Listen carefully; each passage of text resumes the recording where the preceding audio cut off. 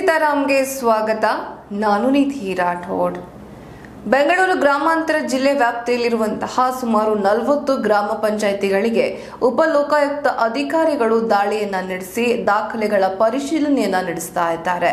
ಇನ್ನು ಸುಮಾರು ಹದಿನೆಂಟು ಗ್ರಾಮ ಪಂಚಾಯಿತಿಗಳಿಗೆ ನೇರವಾಗಿ ಭೇಟಿಯನ್ನ ಕೊಟ್ಟು ಅವರು ದಾಳಿಯನ್ನ ನಡೆಸಿರುವಂತದ್ದು ಈ ಸಂದರ್ಭದಲ್ಲಿ ಮಾತನಾಡಿದಂತಹ ಅಧಿಕಾರಿಯೊಬ್ರು ಈ ಸರ್ಕಾರಿ ಕೆಲಸವನ್ನ ನಿಯತ್ತಾಗಿ ಶ್ರಮವಾಗಿ ನಿರ್ವಹಿಸಿದ್ರೆ ಯಾವುದು ತೊಂದರೆಗಳು ಉಂಟಾಗುವುದಿಲ್ಲ. ಆದ್ರೆ ದಾರಿ ತಪ್ಪಿ ನಡೆದ್ರೆ ಅಂದ್ರೆ ಕಾನೂನು ಬಾಹಿರವಾಗಿ ಚಟುವಟಿಕೆಗಳನ್ನ ನಡೆಸಿದ್ರೆ ಅಥವಾ ಬೇರೆ ಯಾವುದೇ ರೀತಿಯ ಅನಗತ್ಯ ಕ್ರಮಗಳನ್ನ ಕೈಗೊಂಡ್ರೆ ಅದಕ್ಕೆ ತಕ್ಕನಾದಂತಹ ಕಾನೂನು ಕ್ರಮವನ್ನ ವಹಿಸಲಾಗುತ್ತೆ ಕ್ರಮವನ್ನು ತೆಗೆದುಕೊಳ್ಳಲಾಗುತ್ತೆ ಅನ್ನುವಂತಹ ಮಾತನ್ನ ಹೇಳಿದ್ದಾರೆ. ಸುಮಾರು ಇಪ್ಪತ್ತು ಸಾವಿರಕ್ಕೂ ಅಧಿಕ ದೂರುಗಳು ದಾಖಲಾಗಿದ್ವಿ ಅಂತೆ. ಈ ಬೆಂಗಳೂರು ಮತ್ತು ಬೆಂಗಳೂರು ಗ್ರಾಮಾಂತರ ಗ್ರಾಮ ಪಂಚಾಯತಿಗಳೇನು ಬರುತ್ತವೆ ಈ ವ್ಯಾಪ್ತಿಯಲ್ಲಿ? ಇಪ್ಪತ್ತು ಸಾವಿರ ದೂರುಗಳನ್ನೆಲ್ಲ ಪರಿಶೀಲನೆ ನಡೆಸಿ, ಅಲ್ಲೆಲ್ಲವೂ, ಅಲ್ಲೆಲ್ಲ ಆಗೋದಿಲ್ಲ ನಡೆಸೋದಕ್ಕಾಗೋದಿಲ್ಲ, ಎಲ್ಲವನ್ನ ವಿಚಾರಿಸೋದಕ್ಕಾಗೋದಿಲ್ಲ. ಯಾಕೆಂದ್ರೆ ಅದರಲ್ಲಿ ಬಹುತೇಕ ಕಂಪ್ಲೇಂಟ್ಸ್ ಏನು ಬಂದಿದ್ದಾವೆ ದೂರುಗಳೇನು ಬಂದಿದ್ದಾವೆ ಅವೆಲ್ಲವೂ ಕೂಡ ಮ್ಯಾಕ್ಸಿಮಮ್ ಫೇಕ್ ಆಗಿವೆ ಅನ್ನುವಂಥದ್ದು. ಅಂದ್ರೆ ಸುಮಾರು ದೂರುಗಳು ಅನಗತ್ಯವಾಗಿ ಬಂದಿದ್ದಾವೆ. ಹಾಗಾಗಿ ಅವೆಲ್ಲವನ್ನು ಕೂಡ ಪರಿಶೀಲಿಸೋದಕ್ಕೆ ಸಾಧ್ಯವಿಲ್ಲ ಜೆನ್ಯೂನ್ ಆಗಿ ಬಂದಿರುವಂತಹ ದೂರಿನ ಬಗ್ಗೆ ನಾವಿದೀಗ ದಾಳಿಯನ್ನ ನಡೆಸಿ ಮಾಹಿತಿಯನ್ನ ಕಲೆ ಹಾಕ್ತಾ ಇದ್ದೀವಿ ಅಂತ ಹೇಳಿದ್ದಾರೆ. ಬನ್ನಿ, ಹಾಗಾದ್ರೆ ಅಧಿಕಾರಿಗಳೇನು ಹೇಳಿದ್ದಾರೆ ನೋಡೋಣ.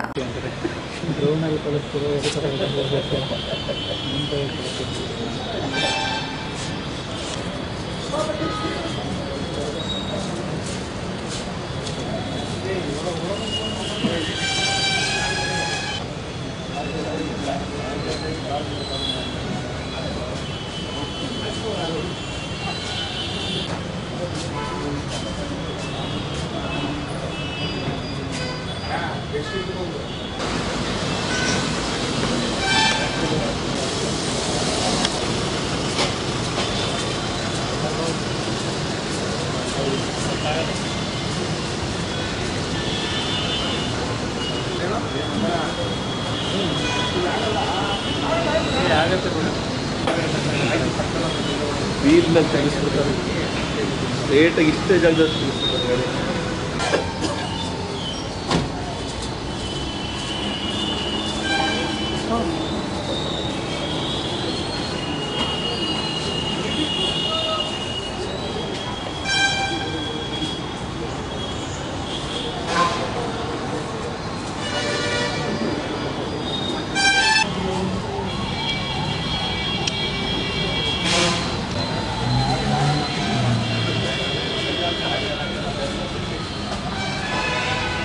ತೆಗೆಸ್ಬಿಡ್ತಾರೆ ಗಾಡಿ ತಡಿ ತಡಿ ತಡಿ ಇದು ಪ್ರತಿ ತಡಿ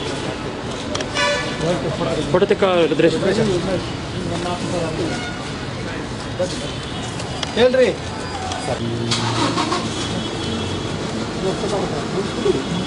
ನಾಳೆ ಬರ್ಬೇಕಲ್ಲ? ಹೌದಾ? ಜಾಸ್ತಿ ರೆಕಾರ್ಡ್ ಜಾಸ್ತಿ ಇದೆ ಸರ್. ಈ ಸಾವಿರ ಜೊತೆ ಕೋಆರ್ಡಿನೇಟ್ ಮಾಡ್ಕೊಂಡು ಎಲ್ಲ ರೆಕಾರ್ಡ್ಸ್ ಮಾಡಿರ್ತಾರೆ ನಾವು ಸ್ವಲ್ಪ ಡೀಪ್ ಆಗಿ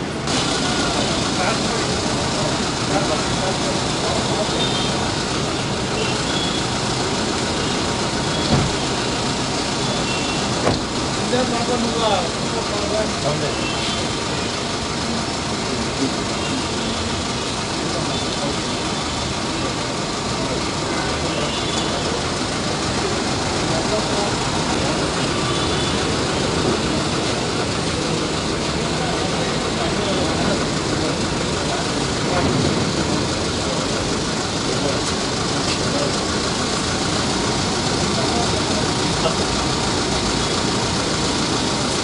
Alır.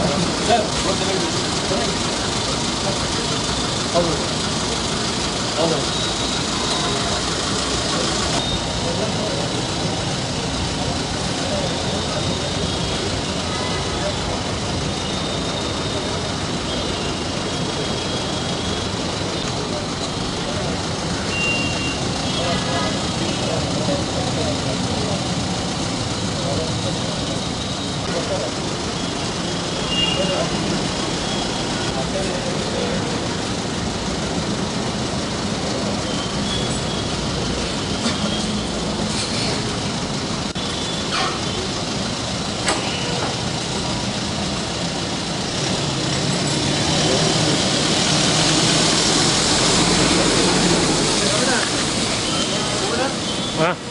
ಸರ್ ಅದನ್ನ ಸರ್ ಅದು ಅರ್ಜಿಗೆ ತಂದಿಲ್ಲ ಸರ್ ಅಲ್ಲಿ ಇನ್ನೊಂದು ಸರಿ ಬೇಕಾದ್ರೆ ನಿಮ್ಮ ಆಫೀಸಿಗೆ ಬರ್ತೀವಿ ಸರ್ ಅದು ಸರ್ ತಹಸೀಲ್ದಾರ್ ಆಫೀಸಲ್ಲಿ ಅದ್ರ ಬಗ್ಗೆ ಮಾಹಿತಿ ಕೇಳಿದ್ರೆ ಇದು ನಮ್ದ ಜಾಗ ಅಂತ ಕೇಳ್ತಾರೆ ಸರ್ ಮಹೇಶ್ ಅಂತೇಳಿ ಸರ್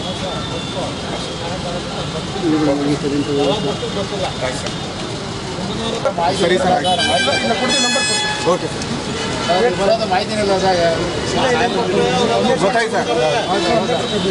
ಗೊತ್ತಾಯ್ತು ಸರ್ ನೀವು ಜನಗಳಿಗೆ ಸ್ಕೀಮು ಕೊಟ್ಟಿದ್ದಾರೆ ಕರೆಕ್ಟಾಗಿ ಹೋಗ್ತಾ ಇದೆಯಾ ಎಲ್ಲ ಸ್ಕೀಮ್ಗಳದ್ದು ಎರಡನೇದು ನಿಮ್ಮ ಖಾತಾ ಖಾತಾ ಕೊಟ್ಟಿರ್ತಾರೆ ಅದೊಂದು. ನೆರೆಗೆ ಸ್ಕೀಮಲ್ಲಿ ಬಡವರಿಗೆ ಕರೆಯಾಗಿ ಕೂಲಿ ಕೊಡ್ತಾರಾ ಇಲ್ಲವೋ ಅಂದು. ಆಮೇಲೆ ಸು, ಇದು ಇದು ಸ್ಕೀಮ್ಗಳಿರ್ತಾವಲ್ಲ ಇಲ್ಲಿ, ಅದೆಲ್ಲ ಚೆಕ್ ಮಾಡ್ತಾ ಇದ್ದಾರೆ. ಡೈಲಿ ಅವ್ರು ಮಾರ್ನಿಂಗ್ ಬರಬೇಕಾದ್ರೆ ಡಿಪ್ ಡಿಕ್ಲೇಷನ್ ಕೊಡಬೇಕು ದುಡ್ಡು ಕೊಡು, ಇದೆ ಅಂತ, ಮತ್ತು ಸಾಯಂಕಾಲ ಇಷ್ಟು ಇದೆ ಅಂತ ಹೇಳ್ಬೇಕು ಡಿಕ್ಲೇರ್ ಮಾಡಬೇಕು. ಅಟೆಂಡೆನ್ಸ್ ಇರಬೇಕು. ಆಮೇಲೆ ನೀರು, ಗೀರು ಎಲ್ಲ ಜನಗಳಿಗೆ ಸರಿಯಾಗಿ ನೀರು ಹೋಗ್ತಾ ಇದೆ ವಾಟರ್ ಮ್ಯಾನಲ್ಲಿ ಇರ್ತಾರಲ್ಲ, ಅದೆಲ್ಲ ಚೆಕ್ ಮಾಡ್ತಾ ಇದ್ದೀವಿ ನಮಗೆ ಥ್ರೂಔಟ್ ಬರೀ ಅರ್ಬನ್ನು ಮತ್ತು ರೂರಲ್ಲೇ ನಲವತ್ತ ಈ ಪಂಚಾಯತ್ಗಳ ಮೇಲೆ ಕಂಪ್ಲೇಂಟ್ ಇದೆ. ಇವತ್ತು ಸದ್ಯ ಹದಿನೆಂಟು ನಾವು ಇದು ಮಾಡಿದ್ದೀವಿ, ಮಿಕ್ಕಿದೆಲ್ಲ ಮುಂದಿನ ದಿನಗಳಲ್ಲಿ ಹೊರಡ್ತೀವಿ. ಇವತ್ತು ನಾನು ದೇವನಹಳ್ಳಿಯಿಂದ ಸ್ಟಾರ್ಟ್ ಮಾಡಿ ಇಲ್ಲಿ ಬಂದಿದ್ದೀನಿ. ಎಲ್ಲ ಕಡೆಯೂ ನಮಗೆ we are not satisfied the way they work working ಅವ್ರು ಕೆಲಸ ಮಾಡೋದು ಸರಿಯಾಗಿ ನೋವಾಗುತ್ತೆ. Public servants meant for public ಜನಕ್ಕೆ. ಆಮೇಲೆ ಜನ ನನಗೆ ಉದ್ದಕ್ಕೂ ಒಂದು ತಮಾಷೆ ಇವತ್ತು ಇದು ಆರನೇದು, ಎಲ್ಲ ಕಡೆ ಜನಗಳನ್ನ ಕೇಳ್ತಾ ಇದ್ದೀವಿ, ಏನೋ ಪ್ರಾಬ್ಲಮ್ ಇದೆ. ಅವ್ರಿಗೆ ಏನು ಪ್ರಾಬ್ಲಮ್ ಇಲ್ಲ ಅಂತಾರೆ ರೀ ಆಶ್ಚರ್ಯ ಆಗುತ್ತೆ ನನಗೆ. ಕಂಪ್ಲೇಂಟ್ ಬರುತ್ತೆ ನಮಗೆ. ನಾವು ಒದ್ದಾಡಿ ಬಿದ್ದಾಡಿ ನಿಮ್ಮನ್ನೆಲ್ಲ ಕರ್ಕೊಂಬಂದು ಇಲ್ಲಿ ಬಂದು ಏನು ರೀ ಇದ್ರೆ ನಮಗೇನು ಪ್ರಾಬ್ಲಮ್ ಇಲ್ಲ ಸರ್? ಜನ ಬದು ಬದಲಾವಣೆ ಆಗಬೇಕು. ನಾನು ಜನಗಳಲ್ಲಿ ರಿಕ್ವೆಸ್ಟ್ ಮಾಡ್ಕೊಳ್ಳೋದು. ನಿಮ್ಮ ಕಷ್ಟ ಕಾರ್ಪಣೆ ಇದ್ದರೆ ನಮ್ಮ ಕಂಪ್ಲೇಂಟ್ ಕೊಡ್ತೀರಿ. ನಾವು ನೋಡೋಕ್ಕೆ ನೋಡೋಕೆ ಇಲ್ಲಿ ಬಂದರೆ ದಯವಿಟ್ಟು ಬಂದು ನಮಗೆ ಕರೆಕ್ಟ್ ಮಾಹಿತಿ ಕೊಡಬೇಕು. ಅಲ್ಲಿ ಕಂಪ್ಲೇಂಟ್ ಕೊಡ್ತಾರೆ ಇವ್ರು ಕರೆಸ್ತೀವಿ. ನಾವು ಇವ್ರನ್ನ ಅಲ್ಲಿಗೆ ಕಂಪ್ಲೇಂಟ್ ಕೊಟ್ಟಾಗ ಇವ್ರು ಬಂದೇನೋ ಕೊಡ್ತಾರೆ. ನೋಡ್ರಿ, ಇನ್ನೇನೋ ಆಗಿದೆ ಅಂತ ಅಲ್ಲ ಅಂತ ಹೇಳಿದ್ರೆ ಮತ್ತೆ ರಿಪ್ಲೈನೇ ಕೊಡಲ್ಲ ಅವರು. ನಾವು ಹುಡ್ಕೊಂಡು ಮನೆಗೆ ಹೋಗ್ಬೇಕು. ಅದಕ್ಕೆ ಜನ ಫಸ್ಟ್ ಬದಲಾವಣೆ ಆಗಬೇಕು. ಜನಗಳು ಅವರು ಬದಲಾವಣೆ ಆಗದೇ ಇದ್ದರೆ ನಾವು ಇನ್ನು ಇವಾಗ ಎಪ್ಪತ್ತೆಂಟು ವರ್ಷ ಆಯಿತು ಸ್ವಾತಂತ್ರ್ಯ ಬಂದು ನಾವು ಇನ್ನೂ ಒದ್ದಾಡ್ತಾನೆ ಇದ್ದೀವಿ. ಜನಗಳು ಬದಲಾವಣೆ ಆಗಬೇಕು. ಹೇಗೆ ಅಂದರೆ ದುಡ್ಡು ತಗೊಂಡು ಓಟ್ ಹಾಕೋದು ನಿಲ್ಲಿಸ್ಬೇಕು ಆ ದುಡ್ಡು ತಗೊಂಡು ಓಟ್ ಹಾಕಿ ನಾನೇನು ಹೇಳೋಕ್ಕಾಗಲ್ಲ. ಅಂತ ಅಂತ ಪಂಚಾಯತ್ ಮೆಂಬರ್ಗಳು ಬರ್ತಾರೆ, ಪಂಚಾಯತ್ ಅಧ್ಯಕ್ಷರು ಬರ್ತಾರೆ, ಅಂತ ಇವ್ರು ಬರ್ತಾರೆ. ಅಲ್ಲಿಂದ ಸ್ಟಾರ್ಟ್ ಆಗುತ್ತೆ. ವೋಟರಿಂದ ತಪ್ಪು ಸ್ಟಾರ್ಟ್ ಆಗುತ್ತೆ. ಅಲ್ಲಿಂದ ಅಲ್ಲಿವರೆಗೂ ಮೇಲಿಂದ ಹೋಗುತ್ತೆ. ಇದೆಲ್ಲ ಪ್ರಾಬ್ಲಮ್ ಆಗ್ತಾಯಿದೆ ಒಂದೆರಡು ಮೂರು ಕಡೆ ನಾವು ಕ್ಯಾಶು ಸಿಕ್ಕಿದೆ. ಕ್ಯಾಶ್ ಇದು ಮಾಡಿದಾಗ ಮೂರು ನಾಲ್ಕು ಇದು ಕಡೆ ಕ್ಯಾಶ್ ಸಿಕ್ಕಿದೆ ಅವ್ರದ್ದು. ಎಲ್ಲ ಚೀಸ್ ಮಾಡಿದ್ದೀವಿ ನಾವು. ಕೆಲವೊಂದು ಕಾಂಟ್ರಾಕ್ಟ್ಗಳು ಬ್ಲಾಂಕ್ ಪೇಪರ್ಸ್ ಇದೆ. ಅಂದರೆ ಅವ್ರು ಯಾರು ಬೇಕೋ ಫಿಲಪ್ ಮಾಡ್ಕೊಂಡು ಲಾಸ್ಟ್ ಕರ್ಸೋದು ಮೂರು ನಾಲ್ಕು ಇಟ್ಕೊಂಡಿರ್ತಾರೆ. More than five lakhs tender ಕರಿಬೇಕು. ಒಳಗಡೆ ಇದ್ದರೆ ಟೆಂಡರ್ ಕರೆಯೋಂಗಿಲ್ಲ ಯಾರು ಅಡ್ಜಸ್ಟ್ ಮಾಡಬೇಕೋ ಮಾಡಿಕೊಂಡು ಮಾಡ್ತಾರೆ. ಸ್ವಲ್ಪ ಜನಗಳು ಮುಂದೆ ಬರಬೇಕು. ಬರೀ ಬೆಳಗ್ಗೆದ್ದು ಸಾಯಂಕಾಲ ಒಂದು ಲೆಟ್ರ್ ಬರೆದು ಲೊಕ್ಕ ಆಗ್ತಾ ಕೊಡಿಸ್ಬಿಟ್ರೆ ಇಪ್ಪತ್ತು ಸಾವಿರ ಕೇಸ್ ಪೆಂಡಿಂಗ್ ಇದೆ. ಅದರಲ್ಲಿ ಬರೀ ಫೇಕ್ ಕೇಸ್ಗಳು ಜಾಸ್ತಿ ಅನ್ಸುತ್ತೆ ನನಗೆ. ಫೇಕ್ ಕೇಸ್ ಸುಮ್ಮನೆ ಒಂದು ಲೆಟ್ರ್ ಬರೆದು ಸಾಕೋದು. ಅವ್ರು ಸರಿ ಇಲ್ಲ ಇವ್ರು ಸರಿಯಿಲ್ಲ ಅಂತ.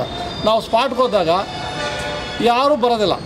ಅವ್ರು ಬ ಆಫೀಸರ್ ಏನು ಮಾಡ್ತಾರೆ ಕರೆಕ್ಟ್ ಆಗಿದೆ ಸ್ವಾಮಿ ಅಂತ ಅಬ್ಜೆಕ್ಷನ್ ಹಾಕ್ತಾರೆ. ಹಿಂಗೆ ಬಂದಾಗ ನಮಗೆ ರೆಕಾರ್ಡ್ ನೋಡಿದಾಗ ಸ್ವಲ್ಪ ಸಿಗುತ್ತೆ ಮಾಹಿತಿ. ಅದಕ್ಕೆ ಜನಗಳು ಸ ಫಸ್ಟು ನೀವು ಬದಲಾವಣೆ ಆಗಿ, ನೀವು ಸರಿಯಾದ ಮಾಹಿತಿ ಕೊಡಿ. ಸುಳ್ಳು ಸುಳ್ಳು ಕೇಸ್ಗಳು ಹಾಕಬೇಡಿ ಲೋಕಾಯುಕ್ತಕ್ಕೆ. ಜೆನ್ಯೂನ್ ಕೇಸ್ ಹಾಕಿ. ಈ ಸುಳ್ಳು ಕೇಸ್ಗಳ ಮಧ್ಯದಲ್ಲಿ ಜೆನ್ಯೂನ್ ಕೇಸ್ಗೆ ಅನ್ಯಾಯ ಆಗ್ತಾ ಇದೆ. ನಿಜವಾದ ಯಾರು ಅನ್ಯಾಯ ಆಗುತ್ತೋ ಅವನಿಗೆ ನ್ಯಾಯ ಕೊಡೋಕ್ಕೆ ಆಗ್ತಾ ಇಲ್ಲ. ಸುಳ್ಳು ಕೇಸ್ಗಳಿಂದ. ನಾನು ಸುಳ್ಳು ಕೇಸ್ಗಳು ಹಾಕಿದ್ರೆ ನಾನಂತ ರೆಡಿ ಆಗಿದ್ದೀನಿ. ಸುಳ್ಳು ಕೇಸ್ ಆಗಲಿ ಯಾವನ್ನೇ ಹಾಕಿದ್ರೆ ಅವನ್ನ ಪ್ರಾಸಿಕ್ಯೂಷನ್ ಮಾಡಿ ಜೈಲಿಗೆ ಕಳಿಸ್ತೀನಿ. ಆಮೇಲೆ ಸುಮ್ಮ ಸುಮ್ಮನೆ ತೊಂದರೆ ಕೊಟ್ಟರೆ ಅದಕ್ಕೂ ಅವಕಾಶ ಇದೆ ಪ್ರಾಸಿಕ್ಯೂಷನ್ ಮಾಡೋಕ್ಕೆ. ಆಮೇಲೆ ಬಾಯಿಗೆ ಬಂದಿದ್ದು ಲೋಕಾಯುಕ್ತ ಬಗ್ಗೆ ಮಾತಾಡಿದ್ರೆ ಕಂಟೆಂಪ್ಟ್ ಮಾಡಿ ಒಳಗಡೆ ಹಾಕ್ತೀವಿ. ಯಾರು ಮುಲಾಜಿಲ್ದೇ ಮಾಡಲ್ಲ. ಲೋಕಾಯುಕ್ತ ದುರ್ಬಳಕೆ ಹೌದು ನನಗೆ ಹಂಗೆ ಅನಿಸ್ತಾ ಇದೆ. ನಾನು ಇವಾಗ ಬಂದು ಒಂದು ಹದಿನೈದು ಇಪ್ಪತ್ತು ದಿವಸ ಆಯಿತು ನೋಡ್ತಾ ಇದ್ದೀನಿ. ಸುಮಾರು ಫೇಕ್ ಕೇಸ್ಗಳು ಸುಮ್ಮನೆ ಏನೋ ಹೇಳ್ತಾರೆ, ಅಲ್ಲಿ ಹೋಗಿ ನೋಡಿದ್ರೆ ಏನೂ ಇರೋಲ್ಲ. ಚೆಕ್ ಮಾಡ್ತೀವಿ, ಅವರೆಲ್ಲ ಕರೆಕ್ಟಾಗಿದೆ ಅಂತಾರೆ. ಯಾವ ಸ್ಕೀಮ್ ಕರೆದಿರ್ತಾರೆ. ಸ್ವಾಮಿ, ನರೇಗಾ ಸ್ಕೀಮಲ್ಲಿ ಕೋಟ್ಯಾಂತರ ರೂಪಾಯಿ ಲಾಸ್ ಆಗೋಗ್ಬಿಟ್ಟಿದೆ, ಮೋಸ ಮಾಡಿಬಿಟ್ಟಾರೆ ಅಂತ ಇಂಜಿನಿಯರ್ ಮೇಲೆ ಕೊಡ್ತಾರೆ. ಆ ಇಂಜಿನಿಯರ್ ತಗೊಂಬಂದರೆ ಕೋಟ್ಯಾಂತರ ಆದ ತಕ್ಷಣ ಟೆಂಡರ್ ಕರೀಲೇಬೇಕು. ಅದೆಲ್ಲ ಎಲ್ಲ ಆಫೀಸ್ಗಳಿಂದ ಬರಬೇಕು. ಅಟೆಂಡೆನ್ಸ್ ಇರಬೇಕು, ಎಲ್ಲ ಇರುತ್ತೆ. ಅಲ್ಲಿ ಚೆಕ್ ಮಾಡಿದಾಗ ನಾವು ಕರೆಕ್ಟಾಗಿದೆ ಅಂತ ಹೇಳಿರ್ತಾರೆ.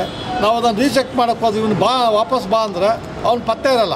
ಅದೊಂದು ತಮಾಷೆ ಏನಂದ್ರೆ, ಇನ್ನೂ ಕೆಲವರು ಸ್ವಾಮಿ ಆ ಸಿಗ್ನೇಚರ್ ನಂದೇ ಅಲ್ಲ ಸ್ವಾಮಿ. ನಾನು ಆ ಥರ ಕಂಪ್ಲೇಂಟೇ ಕೊಟ್ಟಿಲ್ಲ ಸ್ವಾಮಿ ಅಂತ ಮತ್ತೆ ರಿಪ್ಲೈ ಬರ್ತಾರೆ. ಆ ಸಿಗ್ನೇಚರ್ ಎರಡು ಮೊನ್ನೆ ಒಂದು ನಾನು ನೋಡಿದೆ, ಎರಡು ಸಿಗ್ನೇಚರ್ ಸೇಮ್ ಇತ್ತು. ಅವ್ನು ಮಿಸ್ಯೂಸ್ ಮಾಡ್ತಾ ಇದ್ದಾನೆ ಅಂತೇಳಿ, ಹಳ್ಳಿ ಜನ, ರೈತ ಮೋಸ ಮಾಡಿ ಗೊತ್ತಿಲ್ಲ ಅಂತೇಳಿ ನಾನು ಅವನು ವಾರ್ನ್ ಮಾಡಿ ಬಿಟ್ಟಿದ್ದೀನಿ. ಇವತ್ತೊಂದು ಬೆಳಗ್ಗೆ ನಾನು ಕೇಸ್ ಮಾಡಿ ಬಂದೆ. ಅವರು ಮೊದಲೊಂದು ಸಲ ಅನ್ನಾಥ ಎಂಕ್ರೋಚ್ಮೆಂಟು ಜಮೀನು, ನಮ್ಮ ಜಮೀನು ಎಂಕ್ರೋಚ್ ಮಾಡಿಬಿಟ್ಟಿದ್ದಾರೆ ಅಂತ. ಅದೆಲ್ಲ ಸಿವಿಲ್ ಕೋರ್ಟ್ ಬರುತ್ತೆ ಎಂಕ್ರೋಚ್ಮೆಂಟ್ ಅದೆಲ್ಲ. ಆದರೂ ನಮ್ಮಲ್ಲಿ ಅವ್ನು ಕೋರ್ಟ್ಗೆಲ್ಲ ಹೋಗೋದು ಕಷ್ಟ ಆಗುತ್ತೆ ಅಂತೇಳಿ ನಮ್ಮವರು ಮಾಡಿ ನೀವು ಸುಪ್ರೀಂ ಕೋರ್ಟ್ಗೆ ಹೋಗು ಅಂತ ಆರ್ಡ್ರ್ ಮಾಡಿದ್ದಾರೆ. ಎರಡು ಸಾವಿರದ ಹತ್ತೊಂಬತ್ತರಲ್ಲಿ. ಅಕ್ಟೋಬರ್ ಮಾಡ್ತಾರೆ. ನವಂಬರ್ ಮತ್ತೆ ಇನ್ನೊಂದು ಕೇಸ್ ಹಾಕ್ತಾನೆ ನಾನು. ಇವತ್ತು ಸಿಗಾಕೊಂಬಿಟ್ಟ ನನ್ನ ಕೈಗೆ.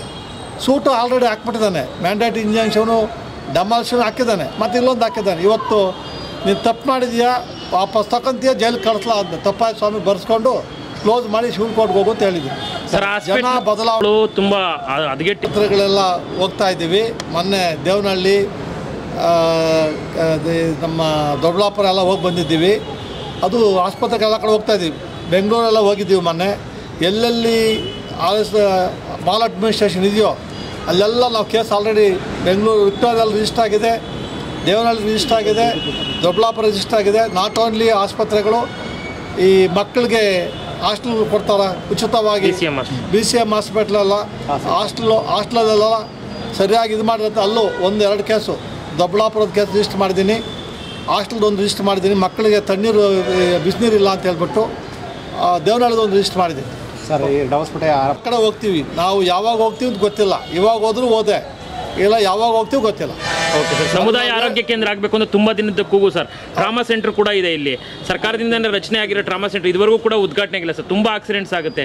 ಅದ್ರ ಬಗ್ಗೆ ಏನಾದರೂ ಇವಾಗ ನಮ್ಮ ರಿಕ್ವೆಸ್ಟ್ ಮಾಡ್ಕೊ ಆ ಥರ ಇದ್ದರೆ ದಯವಿಟ್ಟು ನೀವೇ ಒಂದು ಕಂಪ್ಲೇಂಟ್ ಆಗಿ ನಮಗೆ ಮಾಹಿತಿ ಕೊಡ್ರಿ we will take action sir ಇಲ್ಲೇ ಡವಸ್ಪೇಟೆಯಲ್ಲಿ ಒಂದು ಬಿ ಸಿ ಎಂ ಹಾಸ್ಟೆಲ್ ಇದೆ. ಅದು ರಸ್ತೆಗೆ ಅಕ್ವಿಸೇಷನ್ ಆಗಿಬಿಟ್ಟಿದೆ. ಆದರೆ ಅಲ್ಲಿ ಮಕ್ಕಳು ತುಂಬ ಜನ ಬರ್ತಿದ್ದಾರೆ.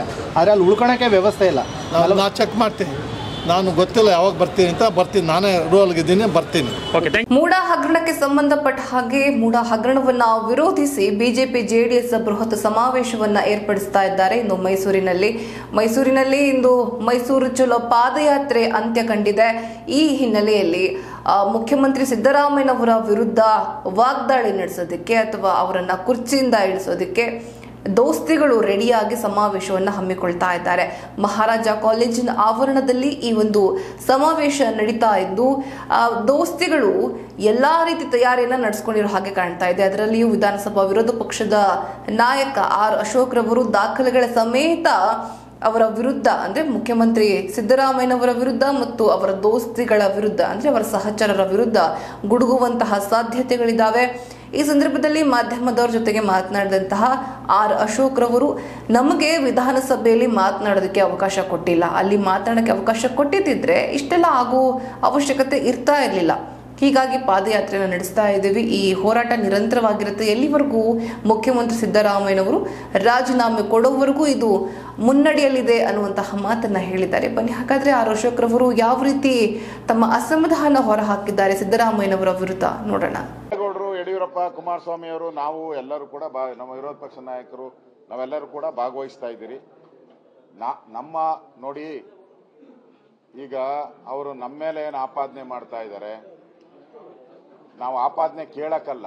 ನಾವು ಈ ಮೂಢ ಹಗರಣ ಮತ್ತು ವಾಲ್ಮೀಕಿ ಹಗರಣ, ಇದರಲ್ಲಿ ನೀವು ತಪ್ಪಿತಸ್ಥರಲ್ಲ ಅಂತ ಪ್ರೂವ್ ಮಾಡಬೇಕಾಗಿದ್ದಂಥ ವೇದಿಕೆ ವಿಧಾನಸಭೆ.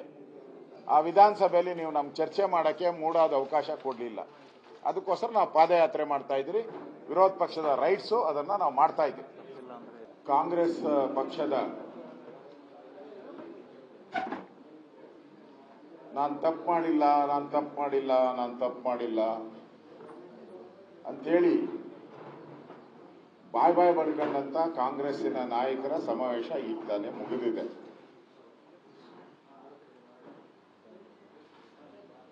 ನಾವು ಬಹಳ ನಿರೀಕ್ಷೆ ಮಾಡಿದ್ರಿ. ಸಿದ್ದರಾಮಯ್ಯನವ್ರದ್ದು ಅಭೂತಪೂರ್ವ ಭಾಷಣವನ್ನ ಇವತ್ತು ಮಾಡ್ತಾರೆ ಅಂತ ನಾನು ಪತ್ರಿಕೆಯಲ್ಲಿ ಬೆಳಗ್ಗೆ ಹೋದಾಗ ಸಿದ್ದರಾಮಯ್ಯನವರು ಬಹಳ ತಯಾರಿ ಮಾಡ್ಕೊಂಡಿದ್ದಾರೆ ಮೂರ್ನಾಲ್ಕು ದಿನ. ಒಬ್ಬರೇ ಕೂತ್ಕೊಂಡು ತಯಾರಿ ಮಾಡ್ಕೊಂಡ್ ಬಂದಿದ್ದಾರೆ ಅಂತ. ಇವತ್ತು ಅವ್ರು ಭಾಷಣ ಮಾಡಿದ್ದನ್ನು ನೋಡಿದ್ಮೇಲೆ ಹಿಂದೆ ಏನು ಹೇಳ್ದಲ್ಲ ಅದೇನು ಹೇಳ್ತಾರ? ಕಿಸ್ಬಾಯಿ ದಾಸ. ಹಾಡಿದ್ದೆ ಹಾ ಹಾ? ಆಡಿದ್ದೆ ಹಾಡು ಕಿಸ್ಬಾಯಿ ದಾಸ ಅಂತ. ಅದನ್ನೇ ಹಿಂದೆ ಏನು ಹೇಳಿದ್ರು? ಅದೇ ಅದೇ ಮೊಟ್ಟೆ ಕತೆ ಅದೇ ಕುಮಾರಸ್ವಾಮಿ, ಅದೇ ದೇವೇಗೌಡ, ಅದೇ ಯಡಿಯೂರಪ್ಪ, ಅದೇ ಅಶೋಕ. ಅಷ್ಟು ಬಿಟ್ಟು ಹೊಸ್ದಾಗಿ ಏನಾನ ಹೇಳಿದಾರ? ನಾನು ಪೂರ್ತಿ ಅವರ ಭಾಷಣವನ್ನ ಕೇಳಿದೆ. ಬಹಳ ನೀವು ಕೂತ್ಬಿಡ್ರ ಬರ ಇಲ್ಲ ಅಂದ್ರೆ. ಕ್ಯಾಮ್ರಾ ಫೋಕಸ್ ಮಾಡ್ಬಿಟ್ಟು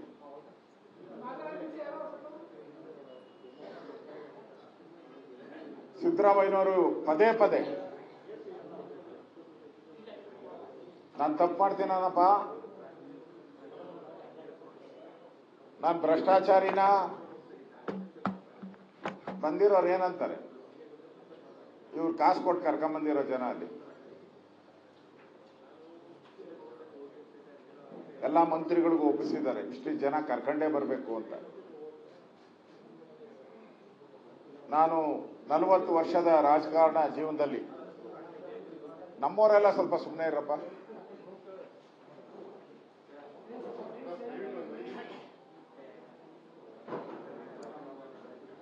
ರಿಪೋರ್ಟರ್ಗಳೆಲ್ಲ ಮುಂದೆ ಬಂದ್ಬಿಟ್ರೆ ಒಳ್ಳೇದು ಈ ಕಡೆ ಎಲ್ಲ ರಿಪೋರ್ಟರ್ ಹಿಂದೆ ಇರೋರು. ಹಿಂದೆ ಇರೋರು. ಈ ಕಡೆ ಇಲ್ಲಿ ಸೈಡ್ಗೆ ಬಂದ್ರು ಅದಕ್ಕೆ ಈ ಕಡೆ.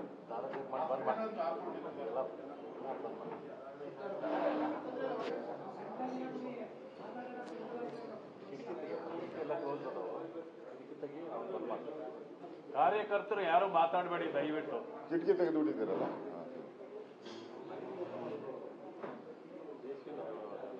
ಸಿದ್ದರಾಮಯ್ಯನವರು ಪದೇ ಪದೇ ನಾನು ನಲವತ್ತು ವರ್ಷದ ರಾಜಕೀಯ ಜೀವನದಲ್ಲಿ ಶುದ್ಧ ಅಸ್ತವಾಗಿದ್ದೀನಿ ಯಾವುದೇ ಭ್ರಷ್ಟಾಚಾರ ಮಾಡಿಲ್ಲ.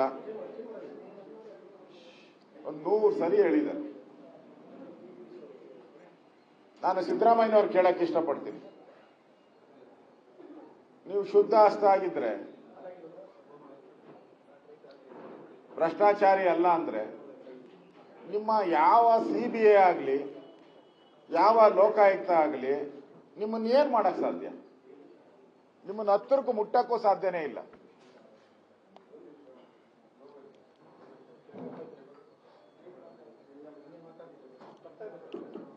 ನಿಮ್ಮನ್ನ ಮುಟ್ಟಕ್ಕೂ ಸಾಧ್ಯನೇ ಇಲ್ಲ. ಸಿ ಬಿ ಐ ನನ್ನ ಪ್ರಶ್ನೆ ಅವ್ರಿಗೆ, ನನ್ನ ಪ್ರಶ್ನೆ ಅವ್ರಿಗೆ, ನೀವೇನ್ ತಪ್ಪು ಮಾಡಿಲ್ಲ ಅಂದ್ರೆ ಸಿ ಬಿ ಐಗೆ ಯಾಕೆ ಹೆದರ್ತಾ ಇದ್ದೀರಾ? ಬೇರೆದ್ ಕೊಟ್ಬಿಡಪ್ಪ. ಹೂನಪ್ಪ, ಹಾಗೆ ಇಟ್ಟಿದ್ದೀನಿ.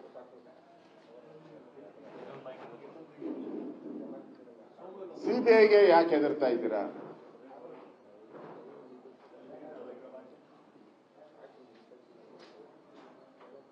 ನೀವು ವಾಲ್ಮೀಕಿ ಇದೇನೋ ಹಂಗೇನೋ ಬೇರೆ ಯಾವ್ದನ್ನ ನೋಡಪ್ಪ. ವಾಲ್ಮೀಕಿ.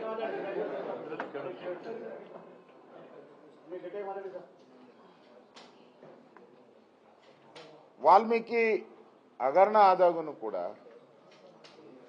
ಸನ್ಮಾನ್ಯ ಸಿದ್ದರಾಮಯ್ಯನವರು ಮತ್ತೆ ಡಿ ಕೆ ಶಿವಕುಮಾರ್ ಅವರು ನಮ್ಮ ಮಂತ್ರಿದು ಏನು ತಪ್ಪಿಲ್ಲ ನಮ್ಮ ಶಾಸಕರದು ಏನು ತಪ್ಪಿಲ್ಲ. ಹಗರಣನೇ ನಡೆದಿಲ್ಲ ಅಂದ್ರು. ಫಸ್ಟ್ ರಿಯಾಕ್ಷನ್ ಅವ್ರದ್ದು ಯಾವಾಗ ಇ ಡಿ ಎಂಟ್ರಿ ಆಯಿತು? ಯಾವಾಗ ಸಿ ಬಿ ಐ ಎಂಟ್ರಿ ಆಯಿತು? ಆಗ ಶುರು ಮಾಡಿದ್ರು ನೂರ ಎಂಬತ್ತೇಳು ಕೋಟಿ ಅಲ್ಲದು, ಬಿರಿ ಎಂಬತ್ತೊಂಬತ್ತು ಕೋಟಿ ಎಂದ್ರು ಅಂದ್ರೆ ತಪ್ಪು ಒಪ್ಕೊಂಡಂಗೆ ಆಯ್ತು ಸರ್ಕಾರ. ತನಿಖಾ ಸಂಸ್ಥೆಗಳು ಈಗ ತನಿಖೆಯನ್ನ ಮಾಡ್ತಾ ಇದ್ದಾರೆ. ಅದರಲ್ಲಿ ಇವತ್ತು ಅವ್ರು ಮಾತಾಡಬೇಕಾದ್ರೆ ಅದರ ನನ್ನ ಪಾತ್ರ ಏನು ಅಂತ ಕೇಳಿದ್ದಾರೆ. ಬಹಳಷ್ಟು ಜನಕ್ಕೆ ಸಿದ್ದರಾಮಯ್ಯನವ್ರದ್ದು ಏನು ಪಾತ್ರ ಅನ್ನೋದನ್ನು ಬಹಳಷ್ಟು ಜನ ನನ್ನ ಕೇಳಿದ್ದಾರೆ. ನೋಡಿ, ನಮ್ಮ ಸರ್ಕಾರದ ನಿಯಮ, ನಿಯಮಗಳ ಪ್ರಕಾರ ಪ್ರತಿ ಒಂದು ತಿಂಗಳಿಗೆ ನಮ್ಮ ಪ್ರಿನ್ಸಿಪಲ್ ಸೆಕ್ರೆಟರಿ ರಿವ್ಯೂ ಮಾಡ್ತಾರೆ. ಎಲ್ಲ ಇಲಾಖೆ, ಆಯಾ ಇಲಾಖೆಯವರು. ಪ್ರಿನ್ಸಿಪಲ್ ಸೆಕ್ರೆಟರಿ ರಿವ್ಯೂ ಮಾಡಿದಾಗ ಈ ನೂರ ಎಂಬತ್ತೇಳು ಕೋಟಿ ಏನು ಎಸ್ ಟಿ ದುಡ್ಡು ಪೆಟ್ಟಿ ಅಂಗಡಿ ಇಡ್- ಇಡೋರ್ಗೆ ಓದ್ತಾ ಇರುವಂತ ಸ್ಟೂಡೆಂಟ್ಸ್ಗೆ, ಮನೆ ಕಟ್ಟೋದಕ್ಕೆ ಇದನ್ನ ಕೊಡ್ಬೇಕಾಯ್ತು. ಯಾಕಂದ್ರೆ ಫಲಾನುಭವಿಗಳ ಲಿಸ್ಟು ತಯಾರಾಗಿ ಬಂದ್ಬಿಟ್ಟಿತ್ತು ಆಲ್ರೆಡಿ ಯಾಕೆ ಪರೀಕ್ಷೆ ಮಾಡಿಲ್ಲ? ಪ್ರಿನ್ಸಿಪಲ್ ಸೆಕ್ರೆಟರಿ ಯಾಕೆ ಮಾಡಿಲ್ಲ? ಹಾಳಾಗೋಯ್ತು. ಪ್ರಿನ್ಸಿಪಾಲ್ ಮಾಡಲಿಲ್ಲ ಅವನ್ ಸೆಕ್ರೆಟರಿ ಹಾಳಾಗೋಗ್ಲಿ. ಚೀಫ್ ಸೆಕ್ರೆಟರಿ ಮೂರು ತಿಂಗಳಿಗೊಂದ್ಸರಿ ಕೆ ಡಿ ಪಿ ಮೀಟಿಂಗ್ ಮಾಡಬೇಕು. ಮೂರು ತಿಂಗಳಿಗೊಂದ್ಸರಿ. ಚೀಫ್ ಸೆಕ್ರೆಟರಿ ಮಾಡೋವಾಗ ಇದೇನು ಸಮ ಏನೋ ಹತ್ತು ಲಕ್ಷನೋ ಐವತ್ತು ಲಕ್ಷ ಆದರೆ ಏನೋ ಮರ್ತೋಗ್ತಾ ಇದೆ. ನೂರ ಎಂಬತ್ತೇಳು ಕೋಟಿ. ಚೀಫ್ ಸೆಕ್ರೆಟರಿ ಅವರು ಇದನ್ನು ಯಾಕೆ ಕೇಳಲಿಲ್ಲ? ಅದು ಬಿಟ್ಬಿಡಿ. ಮುಖ್ಯಮಂತ್ರಿ ಸಿದ್ದರಾಮಯ್ಯನವರು ಫೈನಾನ್ಸ್ ಡಿಪಾರ್ಟ್ಮೆಂಟ್ ಅವ್ರ ಕಡೆ ಬರೋದು. ಬಡ್ಜೆಟ್ ಮಾಡಬೇಕಾದ್ರೆ, ನಾನು ಬಡ್ಜೆಟ್ ಅಲ್ಲಿ ಹಿಂದೆ ಬೊಮ್ಮಾಯಿಯರಿದ್ದಾಗ ಯಡಿಯೂರಪ್ಪ ಪಾಲ್ಗೊಂಡಿದ್ದೀನಿ ನಾನು. ನಾವು ಕೇಳ್ತೀರಿ, ಓ ಸರಿ ನಿಮ್ಗೆ ಎಷ್ಟು ಹಣ ಕೊಟ್ಟಿದ್ರಪ್ಪ, ಎಷ್ಟು ಖರ್ಚು ಮಾಡಿದ್ದೀರಾ ಅಂತ ಕೇಳ್ತೀರಿ. ಅವ್ರು ಪೂರ್ತಿ ಖರ್ಚು ಮಾಡಿದ್ರೆ, ಈ ಸರಿ ಇನ್ನಷ್ಟು ಹಣ ಜಾಸ್ತಿ ಕೊಡ್ತೀರೋ ಇದು ಪದ್ಧತಿ ಇದು. ಖರ್ಚು ಮಾಡಿಲ್ಲ ಅಂದ್ರೆ ಇರೋದು ಖರ್ಚು ಮಾಡೋ ನೆಕ್ಸ್ಟ್ ಕೊಡೋಣ ಅಂತ ಹೇಳ್ತೀರಿ ನಾವು. ಸಿದ್ದರಾಮಯ್ಯನವರು ಅವಾಗ ರಿವ್ಯೂ ಮಾಡಿದಾಗ ಓ ಸರಿ ನೂರ ಎಂಬತ್ತೇಳು ಕೋಟಿ ಕೊಟ್ಟಿದ್ದೀನಲ್ಲಪ್ಪ, ಏನಾಯ್ತು ಅಂತ ಕೇಳಿದ್ರೆ ಈ ಕಳ್ತನ ಸಿಕ್ಕಾಕೊಂತ ನೀವು ಕೇಳಲೇ ಇಲ್ಲ.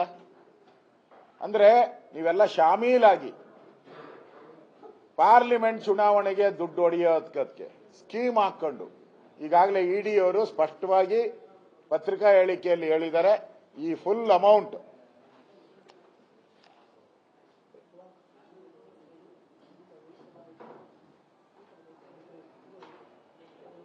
full amount.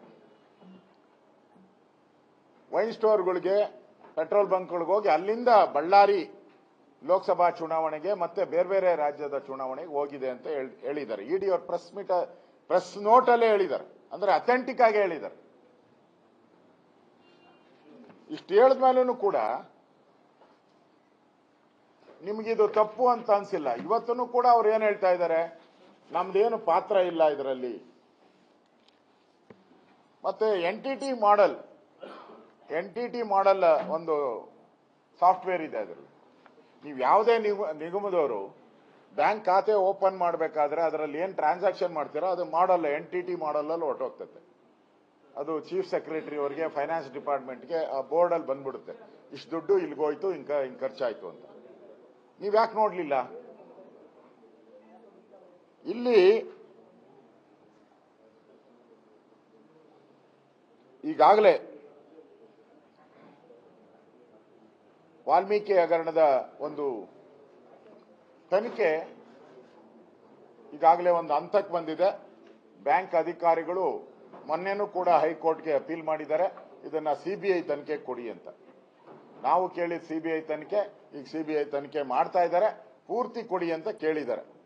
ಅದನ್ನ ಒಂದು ತಾತ್ವಿಕ ಅಂತ್ಯಕ್ಕೆ ನಾವು ತೆಗೆದುಕೊಂಡು ಹೋಗಿದ್ದೀವಿ. ಬಿಜೆಪಿ ವಿಧಾನಸಭೆ ಒಳಗಡೆ ಹೋರಾಟ ಮಾಡಿ ನಾನು ಕೂಡ ಮೂರು ಗಂಟೆ ಹದಿನೆಂಟು ನಿಮಿಷ ಮಾತಾಡಿ ದಾಖಲೆಗಳನ್ನ ಕೊಟ್ಟಿದ್ದೀನಿ.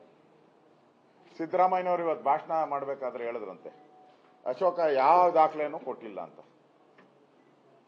ನಾನು ಸರ್ಕಾರದ ಸರ್ಟಿಫೈಡ್ ಕಾಪೀಸ್ನ ಐವತ್ತೊಂಬತ್ತು ದಾಖಲೆಗಳನ್ನು ಕೊಟ್ಟಿದ್ದೀನಿ ನಾನು.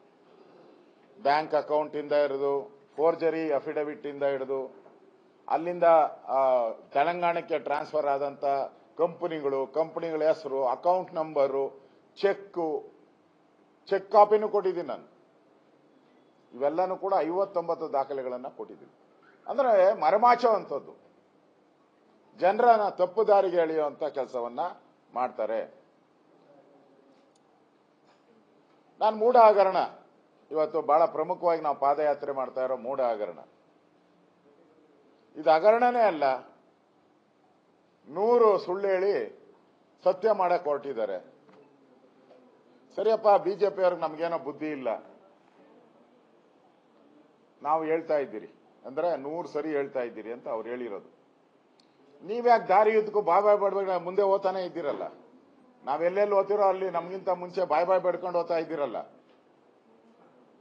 ನೀವ್ ಯಾವ ಸ್ವ- ಸುಳ್ಳನ್ನ ಸತ್ಯ ಅಂತ ಮಾಡಕ್ ಹೊರಟಿದ್ದೀರಾ ಹಂಗಾರೆ ನೀವು? ನೀವು ಏನು ಮಾಡಿಲ್ಲ ಅಂದ್ರೆ ನಮ್ ಮುಂದೆ ಯಾಕೆ ಹೋಗ್ಬೇಕಾಯ್ತು? ಹೇಳ್ಕೊಂಡು ನಾನು ಕಳ್ಳ ಅಲ್ಲ ಕಳ್ಳ ಅಲ್ಲ ಕಳ್ಳ ಅಲ್ಲ, ನಾನು ಬಿಟ್ಬಿಡಿ ಬಿಟ್ಬಿಡಿ ಅಂತ ಯಾಕೆ ಹೇಳ್ಕೊಂಡು ಹೋಗ್ತಾ ಇದ್ದೀರಾ?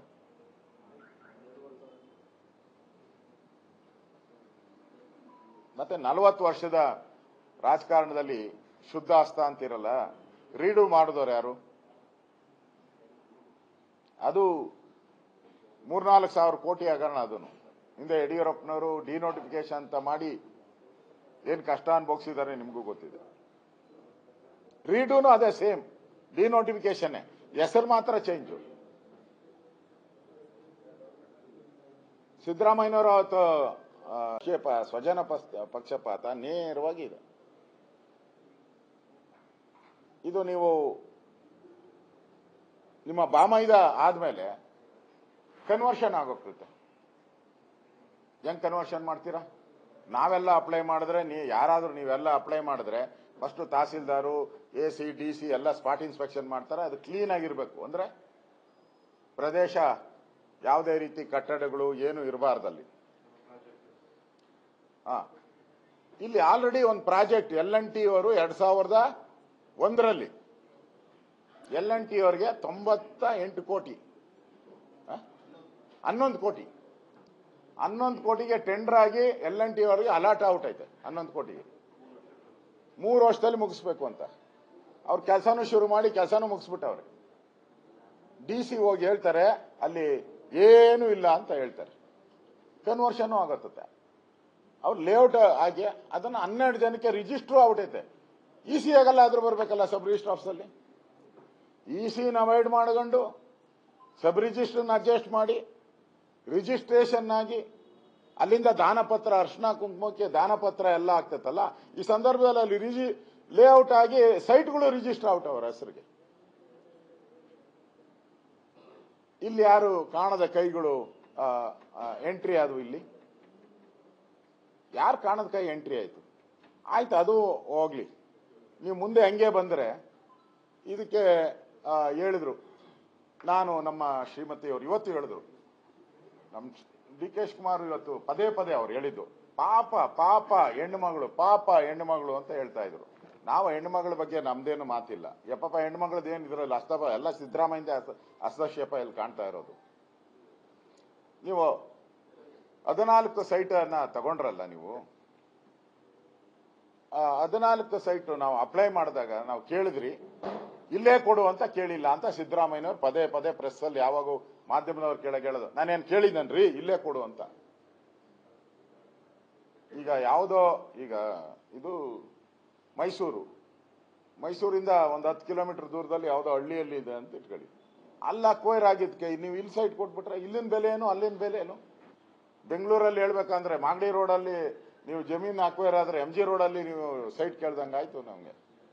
ಅಲ್ಲಿನ ವ್ಯತ್ಯಾಸಗಳೇನು? ಬೆಲೆ ವ್ಯತ್ಯಾಸ ಏನು?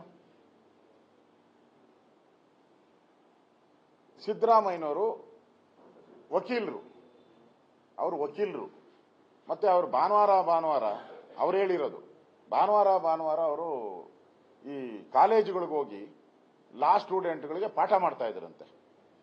ಅಂದ್ರೆ ಕಾನೂನು ಅಂದ್ರೇನು, ಸಂವಿಧಾನ ಅಂದ್ರೇನು ಸಂವಿಧಾನ ಹೆಂಗ್ ರಕ್ಷಣೆ ಮಾಡಬೇಕು, ಸಂವಿಧಾನದ ಎಳೆಗಳನ್ನ ಬಿಡಿಸಿ ಬಿಡಿಸಿ ಹೇಳ್ತಾ ಇದ್ರಿ ಅಂತ ಹೇಳ್ತಾ ಇದ್ರು, ವಿಧಾನಸಭೆಯಲ್ಲಿ ಹೇಳಿದ್ರು ಅವರು. ಹೇಳಿದವ್ರು ನೀವು, ನಾಳೆ ಯಾರೋ ಬಂದ್ಬಿಟ್ಟು ಇದೊಂದು ಸರ್ವೆ ನಂಬರ್ ಆಯ್ತಪ್ಪ ಮೈಸೂರಲ್ಲಿ. ರಿಜಿಸ್ಟರ್ ಮಾಡ್ಕೊಂಬಿಡ್ತೀರಿ ಅಂದ್ರೆ, ನೀವು ರಿಜಿಸ್ಟರ್ ಮಾಡ್ಕೊಂಬಿಡ್ತೀರಾ? ಅದು ಪ್ಯಾಲೇಸ್ ಬರ್ತದೆ, ಯಾವುದೋ ಒಂದು ಇಟ್ಕೊಳ್ಳಿ. ಮೈಸೂರು ಪ್ಯಾಲೇಸೇ ಬರ್ತದೆ. ಯಾರೋ ಸರ್ವೆ ನಂಬರ್ ಹಾಕ್ಬಿಟ್ಟು ನೀವು ರಿಜಿಸ್ಟರ್ ಮಾಡ್ಕೊಂತ ಮಾಡ್ಕೊಂತೀರಾ? ಬೆಂಗಳೂರಲ್ಲಿ ಕೆಂಪಾಪುರ, ಏನಪ್ಪ? ಸಂಪಿಗೆಹಳ್ಳಿ ಸರ್ವೆ ನಂಬರ್ ಹದಿನೇಳು ಅಂತ ಐತೆ. ಸಂಪಿಗೆಹಳ್ಳಿ ಸರ್ವೆ ನಂಬರ್ ಹದಿನೇಳು ಹಾಕಿದ್ರೆ ರಿಜಿಸ್ಟ್ರೇಷನ್ ಆಗ್ತೈತೆ ಅದಿರೋದು ವಿಧಾನಸೌಧ. ರಿಜಿಸ್ಟರ್ ಮಾಡ್ಕೊಂಡ್ಬಿಡ್ತೀರ ಹಂಗಾರೆ? ನೋಡ್ಬೇಕಲ್ಲ ನೀವು. ಕಾನೂನು ತಜ್ಞರು, ಇದು ಲೇಔಟ್ ಔಟ್ ಇದೆ ಎಲ್ಲ ಆಗಿದೆ. ನೋಡ್ಬೇಕಲ್ಲ ನೀವು? ನಿಮ್ಮ ಶ್ರೀಮತಿಯವರ ಹೆಸರಿಗೆ ದಾನ ದಾನಪತ್ರ ತಗೊಬೇಕಾದ್ರೂ ನೋಡ್ಬೇಕು. ನೀವೇ ಹೇಳಿ. ಯಾರಾದ್ರೂ ಸಣ್ಣ ಒತ್ತುವರಿ ಒಂದು ಒಂದು ಅರ್ಧ ಎಕರೆ ಒತ್ತುವರಿ ಆದ್ರೂ ಬೊಬ್ಬೆ ಹೊಡಿತಾರೆ. ಇವರು ಹೇಳ್ತಾರೆ, ಹತ್ತು ವರ್ಷ ನಾನು ನೋಡಲೇ ಇಲ್ಲ ಅಂತ ಹೇಳಿ. ಒಬ್ಬ ಮುಖ್ಯಮಂತ್ರಿ, ಉಪಮುಖ್ಯ ಯಾರಾನ ಮುಟ್ಟಕ್ ಸಾಧ್ಯನಾ ಈ ಜಮೀನ್ನ ಹತ್ತಿರಕ್ಕೂ ಹೋಗಕ್ ಸಾಧ್ಯ ಇಲ್ಲ. ನಾನು ನೋಡೇ ಇಲ್ಲ ಅಂತ ಹೇಳ್ತಾರೆ. ಇದರಿಂದ ಸ್ಪಷ್ಟವಾಗಿ ಸ್ವಜನ ಪಕ್ಷ ಪಾತ ಮಾಡಿರೋ ಮಾಡಿರುವಂಥದ್ದು ಕಬಳಿಕೆ ಮಾಡಿರೋದು ಸ್ಪಷ್ಟವಾಗಿ ಇದರಲ್ಲಿ ಕಾಣ್ತಾ ಇದೆ.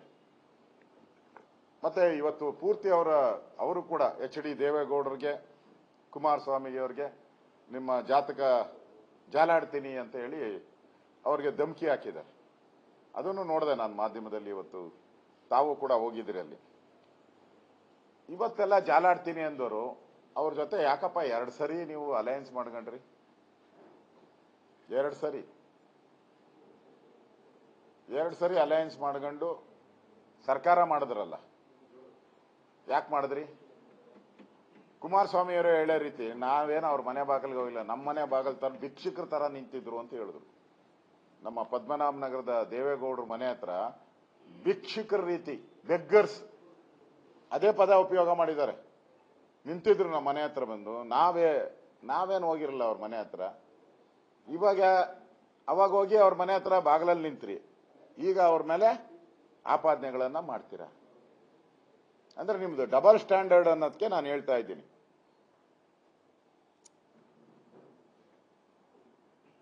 ಇದಲ್ದಿರ ಇಪ್ಪತ್ತೈದು ಸಾವಿರ ಕೋಟಿ ಹಣವನ್ನ S C P S C S C S P T S P ಅಂದ್ರೆ ದಲಿತರ ಒಂದು ಅಭಿವೃದ್ಧಿ ಕೇರಿಗಳ ಅಭಿವೃದ್ಧಿ ಮಾಡೋ ಹಣವನ್ನು ಇಪ್ಪತ್ತೈದು ಸಾವಿರನ ನೀವು ಟ್ರಾನ್ಸ್ಫರ್ ಮಾಡಿ ದುರ್ಬಳಕೆ. ಮಾಡ್ಕೊಂಡಿದ್ದೀರಾ.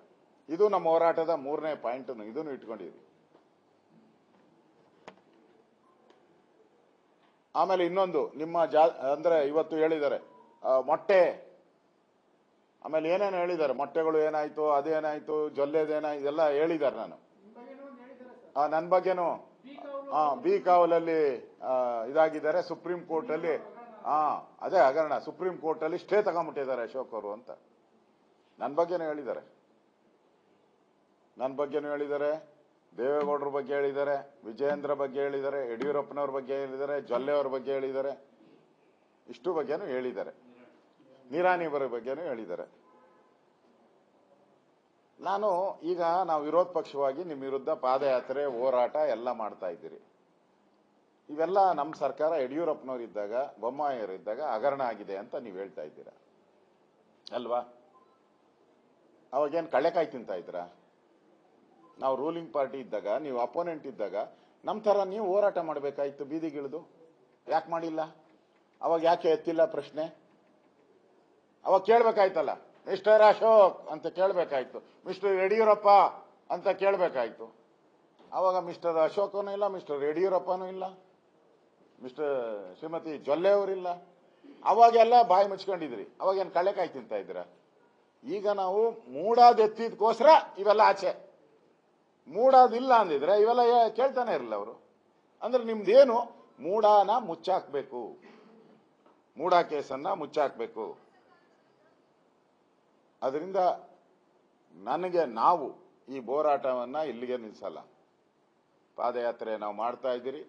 ನಾವು ಇಲ್ಲಿ ರಾಜೀನಾಮೆ ಕೊಡಬೇಕು ಅಂತ ನಾವು ಇವತ್ತು ಕೊಡ್ತಾರೆ ಅಂತ ನಾವು ತಿಳ್ಕೊಂಡಿದ್ರಿ ನಾವೆಲ್ಲರೂ ಇವತ್ತು ಸಿದ್ದರಾಮಯ್ಯನವರು ಒಂದು ಗೌರವ ಉಳಿಸ್ಕೊಳಕ್ಕೋಸ್ಕರ ನಾನು ಕ್ಲೀನ್ ಅಂತ ಪ್ರೂವ್ ಮಾಡಬೇಕಾದ್ರೆ ಅವರು ಹದಿನಾಲ್ಕು ಸೈಟ್ಗಳನ್ನು ವಾಪಸ್ಸು ಸರ್ಕಾರಕ್ಕೆ ಕೊಡಬೇಕು. ಎರಡನೇದು ಅವರ ಹೆಸರಲ್ಲಿ, ಯಾಕಂದ್ರೆ ಅವರು ದಾರಿ ತೋರಿಸಿದ ಮೇಲೆ ಫಿಫ್ಟಿ ಫಿಫ್ಟಿ ದಾರಿ ತೋರಿಸಿದ ಮೇಲೆ ಸುಮಾರು ನಾನೂರಿಂದ ಐನೂರು ಸೈಟು ಬೇರೆಯವರು ಅಲಾಟ್ ಮಾಡಿಸ್ಕೊಂಡಿದ್ದಾರೆ ಕೆಲವರು ಯಾರೋ ದೇವಸ್ಥಾನ ಜಮೀನು ಹದಿನೇಳು ಎಕರೆ ಮಾಡಿಸ್ಕೊಂಡಿದ್ದಾರೆ ಅಂತ ದಾಖಲೆ ತರಿಸ್ತಾ ಇದ್ದೀನಿ ಅದನ್ನು. ಮಾಡ್ಕೊಂಡಿದ್ದಾರೆ. ಇಷ್ಟನ್ನು ಸಿ ಬಿ ಐ ಕೊಡಬೇಕು. ಅಷ್ಟು ಸೈಟ್ ವಾಪಸ್ಸು ಮೂಡಾಗೆ ಬರಬೇಕು. ಯಾರು ಅಪ್ಲೈ ಮಾಡಿದ್ದಾರೆ, ಸುಮಾರು ಎಂಬತ್ತಾರು ಸಾವಿರ ಜನ ನೀನು ಅಪ್ಲೈ ಮಾಡಿದ್ದಾರೆ ಅಂತ ಸುದ್ದಿ. ಅವ್ರಿಗೆ ಆ ಸೈಟ್ಗಳು ಮಧ್ಯಮ ವರ್ಗದವರು, ಬಡವರಿಗೆ ಆ ಸೈಟ್ಗಳು ತಲುಪಬೇಕು. ಮತ್ತೆ ಈ ತನಿಖೆ ಮುಗಿಯೋವರೆಗೂ ಸಿದ್ದರಾಮಯ್ಯನವರು ರಾಜೀನಾಮೆ ಕೊಡಬೇಕು. ಇದರಿಂದ ಹೋಗೋದೇ ಇಲ್ಲ. ನಮ್ಮ ಪಾದಯಾತ್ರೆ ಇಲ್ಲಿಗೆ ನಿಲ್ಲಲ್ಲ, ಪಾದಯಾತ್ರೆ ಆದಮೇಲೆ ಮುಂದೆ ಇನ್ನೂ ಒಂದು ಹಂತಕ್ಕೆ ನಾವು ಇದನ್ನ ಈಗಾಗಲೇ ರಾಜಭವನಕ್ಕೆ ನನ್ನ ನೇತೃತ್ವದಲ್ಲಿ ಎಲ್ಲ ಎಂ ಎಲ್ ಎಗಳು ಎಂ ಎಲ್ ಸಿಗಳನ್ನ ಕರ್ಕೊಂಡೋಗಿ ನಾನು ಮನವಿ ಕೊಟ್ಟಿದ್ದೀನಿ ರಾಜ್ಯಪಾಲರಿಗೆ. ಇದನ್ನ ಸಿಬಿಐ ತನಿಖೆ ಕೊಡಬೇಕು, ಮುಖ್ಯಮಂತ್ರಿಗಳ ರಾಜೀನಾಮೆ ಆಗಬೇಕು ಅಂತ ಕೊಟ್ಟಿದ್ದೀರಿ ಈಗ ನೋಟಿಸು ಕೂಡ ಕೊಟ್ಟಿದ್ದಾರೆ. ಯಾರು ರಾಜಭವನದಿಂದ ನೋಟಿಸು ಕೂಡ ಕೊಡ್ತಾರೆ ಅದಕ್ಕೆ ಸಿದ್ದರಾಮಯ್ಯನವರು ರಿಪ್ಲೈ ಕೊಟ್ಟ ದೊಡ್ಡ ರಿಪ್ಲೈ ಅನ್ನು ಕೊಟ್ಟಿದ್ದಾರೆ ಅಂತ ನಾನು ಪತ್ರಿಕೆಯಲ್ಲೂ ಕೂಡ ಓದಿದ್ದೀನಿ ನಾನು ಪತ್ರಿಕೆಯಲ್ಲಿ. ಅರವತ್ತು ಪುಟಗಳು ಕೊಟ್ಟಿದ್ದಾರಂತೆ. ಅರವತ್ತನ ಕೊಟ್ಕೊಳ್ಳಿ ನೂರಿಪ್ಪತ್ತನ ಕೊಟ್ಕೊಳ್ಳಿ. ಈಗ ಏನೋ ನೋಟಿಸ್ ಕೊಟ್ಟಿರೋದಕ್ಕೆ ಇಷ್ಟು ಭಯ ಬಿದ್ದಿದ್ದೀರಲ್ಲ? ನೋಟಿಸ್ ಕೊಟ್ಟಿರೋದಕ್ಕೆ ಇಷ್ಟು ಭಯ ಬಿದ್ದಿದ್ದೀರ? ಇನ್ನೇನೋ ಪರ್ಮಿಷನ್ ಕೊಟ್ಬಿಟ್ರೆ ನಿಮ್ಮ ಕತೆ ಏನು? ಈಗಲೇ ದಾರಿ ಇದ್ದಕ್ಕೂ ನಾವು ಎಲ್ಲೆಲ್ಲಿ ಓದ್ತಿರೋ ಅಲ್ಲಿ ಮುಂದೆ ಅದೇನೋ ಕ್ಲಿಯರೆನ್ಸ್ ಮಾಡ್ಕೊಂಡು ಓದ್ತಾ ಇದ್ದೀರಾ ನೀವು? ಡಿ ಕೆ ಶಿವಕುಮಾರ್ ಮಾಡ್ತಾವ್ರ ನಮ್ಗೆ ಅರ್ಥ ಆಗ್ತಾ ಇಲ್ಲ ಇದು. ಇಷ್ಟೊಂದು ಕ್ಲಿಯರೆನ್ಸ್ ನಮ್ಗೆ ಕೊಡ್ತಾವ್ರೆ ಅಂದ್ರೆ ಡಿ ಕೆ ಕುಮಾರ್ಗೆ ಹೃದಯದಲ್ಲಿ ಒಂದಿರಬೇಕು, ಹೊರಗಡೆ ಒಂದಿರಬೇಕು ಅವ್ರಿಗೆ. ಹೃದಯದಲ್ಲಿ ಬೇಗ ಖಾಲಿ ಆವಡ್ಲಿ ಸಿದ್ದರಾಮಯ್ಯ ಅಂತ ಇರಬೇಕು. ಹೊರಗಡೆ ನಾನು ಸಿದ್ದರಾಮಯ್ಯನವ್ರ ಪರ ಬಂಡೆ ಥರ ನಿಂತ್ಕೊಂತೀನಿ ಅಂತ ಇರ್ಬೇಕನೋ ಅಂತ ಅನಿಸ್ತೈತೆ. ಹಾ, ಬಂಡೆ, ಹೊರಗಡೆ, ಒಳಗಡೆ. ಅವ್ರಿಗೆ ಅನ್, ಇದೆಯಲ್ಲ, ಆತ್- ಅಂತರಾತ್ಮ ಒಂದು ಇದೆಯಲ್ಲ, ಅದು ಹೇಳ್ತಾ ಐತೆ ನಮ್ಮ ಯಾರೋ ಅಜಯ್ಯ. ಅಜ್ಜಯ್ಯನವ್ರು ಹೇಳಿದಾರಂತೆ ನೀನು ಡಿಸೆಂಬರ್ ಒಳಗೆ ಆದ್ರೆ ಆತಿಯ ಇಲ್ಲ ಅಂದ್ರೆ ಆಗೋದೇ ಇಲ್ಲ ನೀನು ಮುಖ್ಯಮಂತ್ರಿ ಅಂತ ಹೇಳಿದ್ದಾರೆ ಮೊನ್ನೆನೂ ಕೂಡ ಅವರು ಪ್ರೆಸ್ಸಲ್ಲೂ ಮಾಧ್ಯಮದಲ್ಲೂ ಹೇಳ್ಬಿಟ್ಟಿದ್ದಾರೆ ಯೋಗ ಬಂದ್ಬಿಟ್ಟಿದೆ ಈಗ ಆಗೋಗ್ಬಿಡ್ತಾರೆ ಅಂತ ನೀವೇ ಹಾಕಿದ್ದು ನಾನು ನೋಡಿದೆ. ಮತ್ತೆ ಅದ್ಯಾರು ಜ್ಯೋತಿಷ್ಯನೂ ಹೇಳ್ಬಿಟ್ಟಿದ್ದಾನೆ ಯಾರು ಇವಾಗೆ ಆಗೋಗ್ಬಿಡ್ತಾರೆ ಅಂತ. ಅಂದ್ರೆ ಈ ಡಿ ಕೆ ಶಿವಕುಮಾರ್ದು ಸ್ಟ್ಯಾಂಡರ್ಡು ಒಳಗೊಂದು ಹೊರಗೊಂದು ಅನ್ನೋದು ಸ್ಪಷ್ಟವಾಗಿದ್ದರಿಂದ ಗೊತ್ತಾಗ್ತಾ ಇದೆ. ಗಮನಕ್ಕೆ ನಾನು ಕೂಡ ತಂದಿದ್ದೀನಿ. ನಾವು ಅವ್ರನ್ನ ಕರೆದು ಮಾತಾಡ್ತೀರಿ. ಜೆ ಡಿ ಎಸ್ ಮತ್ತು ಬಿಜೆಪಿ ಒಂದಾಗಿರೋ ಸಂದರ್ಭದಲ್ಲಿ ಈ ತರ ಸಣ್ಣ ಪುಟ್ಟ ಪ್ರಾಬ್ಲಮ್ಸು ಬಂದೇ ಬರುತ್ತೆ. ಮುಂದೇನು ಬರ್ಬೋದು? ಇದನ್ನೆಲ್ಲ ನಿಭಾಯಿಸಿಕೊಂಡು ನಾವು ಒಟ್ಟಿಗೆ ಈ ಕಾಂಗ್ರೆಸ್ ಅನ್ನ ಎದುರಿಸುವಂತ ದೃಷ್ಟಿಯಿಂದ, ಮುಂದೆ ಚುನಾವಣೆಗೆ ಹೋದಾಗ ನಾವು ಒಟ್ಟಿಗೆ ಹೋಗಬೇಕಾಗಿರೋ ದೃಷ್ಟಿಯಿಂದ ನಾವು ಇದೆಲ್ಲವನ್ನ ಸರಿ ಮಾಡಿಕೊಂಡು ನಾವು ಹೋಗ್ಬೇಕಾಗಿದೆ. ಹೋಗೇ ಹೋಗ್ತೀರಿ. ಆಲು ಜನ ರೀತಿ ಒಂದಾಗಿ ಹೋಗ್ತೀರಿ. ಪ್ರೀತಮ್ ಆಯ್ತು ಹತ್ನಾಳು ಇಟ್ಕೊಂಡಿದ್ದೀಗ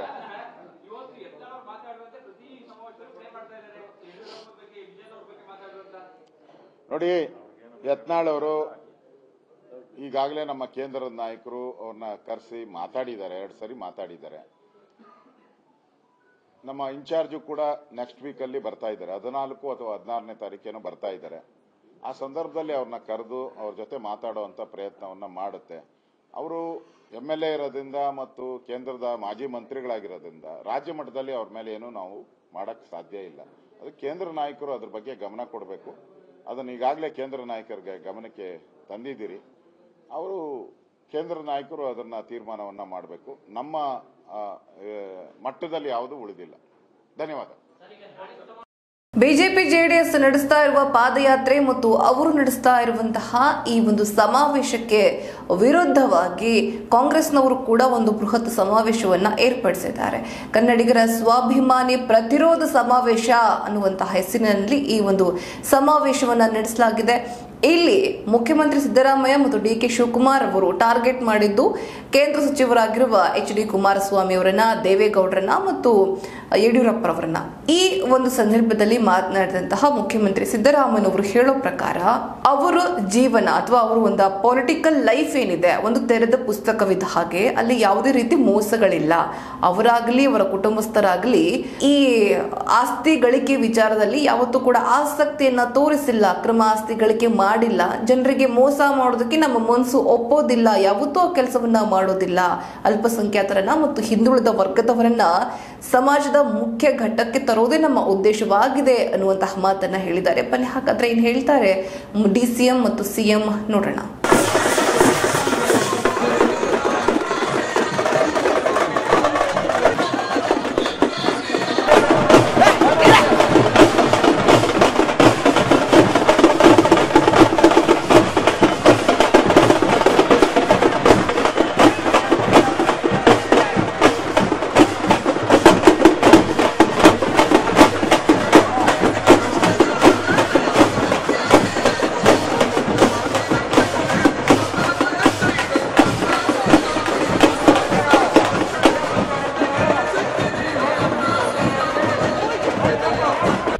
ತನ್ನ ಪತ್ನಿಗೆ ಅಕ್ರಮವಾಗಿ ತೆಗೆದುಕೊಂಡಂತಹ ಹದಿನಾಲ್ಕು ನಿವೇಶನಗಳು.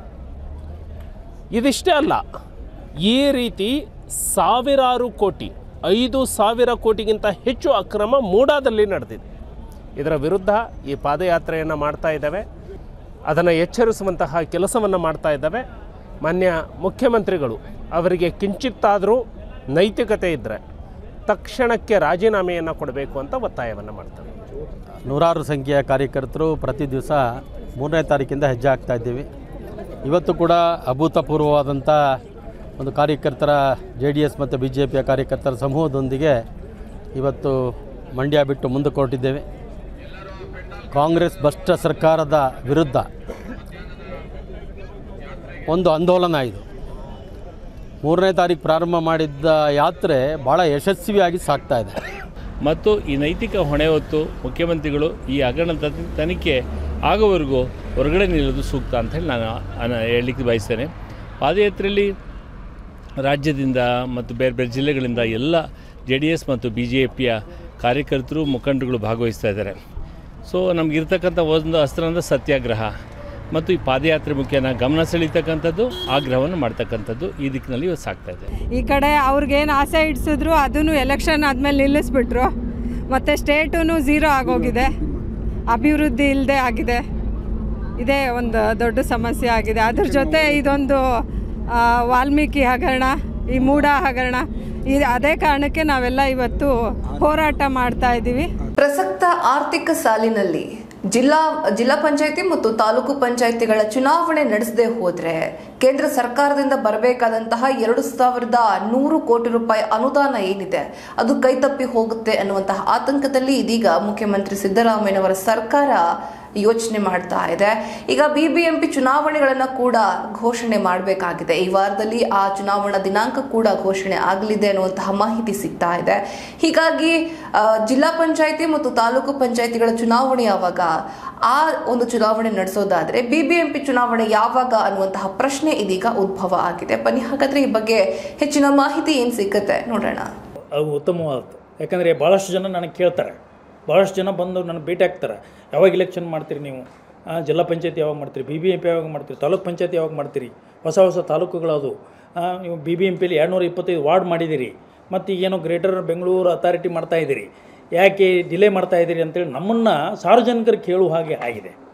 ಪರಿಹಾರ ಮಾನ್ಯ ಸರ್ವೋಚ್ಚ ನ್ಯಾಯಾಲಯದಲ್ಲಿ ಏನು ಬಿ ಬಿ ಎಂ ಪಿಗೆ ಸಂಬಂಧಪಟ್ಟಂಥ ಪ್ರಕರಣ ಇತ್ಯರ್ಥಗೊಂಡ ಕೂಡಲೇ ಅದು ನಾವು ನೀವು ನಾಲ್ಕುನೂರು ವಾರ್ಡ್ ಮಾಡ್ತೇವೆ ಅಥವಾ ಗ್ರೇಟರ್ ಬೆಂಗಳೂರು ಅಥಾರಿಟಿ ಬಂದ ಮೇಲೆ ಮಾಡ್ತೇವೆ ಅಂತ ಇಲ್ಲ. ನಮಗೆ ಸುಪ್ರೀಂ ಕೋರ್ಟ್ನಲ್ಲಿ ಇದ್ದಂಥ ಪ್ರಕರಣ ಇತ್ಯರ್ಥಗೊಂಡ ಕೂಡಲೇ ಅದು ಗ್ರೇಟರ್ ಬೆಂಗಳೂರು ಅಥಾರಿಟಿ ಬಿಲ್ ಬರಲಿ, ಬಿಡಲಿ. ನಮಗೆ ಸಂಬಂಧ ಇಲ್ಲ. ನಾವು ಮಾಡೋರೆ ಇಲೆಕ್ಷನ್ ಮಾಡೋರೆ ಯಾಕಂದರೆ ಜನರಲ್ಲಿ ಅದು ಭಾಳಷ್ಟು ಜನರಿಗೀಗ ನಾಲ್ಕು ವರ್ಷಗಳ ಕಾಲ ಒಂದು ಆಡಳಿತವಿಲ್ಲ. ಜೆ ಜೆಡ್ ಪಿ ಮತ್ತು ತಾಲೂಕ್ ಪಂಚಾಯತ್ಗಳ ಆಡಳಿತ ಇಲ್ಲ. ಹೀಗಾಗಿ ಈಗ ನಾವು ಪ್ರಜಾಪ್ರಭುತ್ವಕ್ಕೆ ಏನು? ಜನರ ಆಡಳಿತ ಬರಬೇಕು. ಜನರೇ ಮುಂದಿನ ನಾಯಕರಾಗಕ್ಕೆ ಸಾಧ್ಯ. ಯಾವ ಉತ್ತಮವಾದಂಥ, ಏನು ನಾಯಕ ಇರ್ತಾನೋ ಅವನು ಆಡಳಿತ ಮಾಡೋದಿಲ್ಲ ಪ್ರಜಾಪ್ರಭುತ್ವದ ಒಂದು ಉಳಿವಿಗಾಗಿ, ಅಳಿವಿಗಾಗಿ ಏನು ಶ್ರಮಿಸಬಲ್ಲ. ಅಲ್ಲೇ ನಾವು ಹಿಚ್ಕೆ ಹಾಕ್ತಾ ಇದ್ದೀವಿ. ಏನು? ನಾಯಕರನ್ನು ಸೃಷ್ಟಿ ಮಾಡುವಲ್ಲಿ ನಾವು ಇಂತಹ ಚುನಾವಣೆಗಳನ್ನ ಮಾಡ್ತಾ ಇಲ್ಲ. ನಾಯಕರುಗಳು ಸೃಷ್ಟಿಯಾಗಬೇಕಾದ್ರೆ ಇಂಥ ಚುನಾವಣೆಗಳಾಗಲೇಬೇಕು ಅಂದಾಗ ಮಾತ್ರ ಅದು ನೀವು ಬ್ಯೂಟಿ ಆಫ್ ಡೆಮೋಕ್ರಸಿ ಅಂತ ನಾವು ಹೇಳ್ಬೋದು. ಇವಿಷ್ಟು ಈ ಹೊತ್ತಿನ ಪ್ರಮುಖ ಸುದ್ದಿಗಳು, ಮತ್ತಷ್ಟು ಸುದ್ದಿಗಳೊಂದಿಗೆ ತಮ್ಮನ್ನ ಮತ್ತೆ ಭೇಟಿಯಾಗ್ತೀನಿ. ಅಲ್ಲಿವರೆಗೂ ನೋಡ್ತಾ ಇರಿ, ಹೇ ಸೀತಾರಾಮ್. ಇದು ಸತ್ಯದ ಕೈಗನ್ನಡಿ.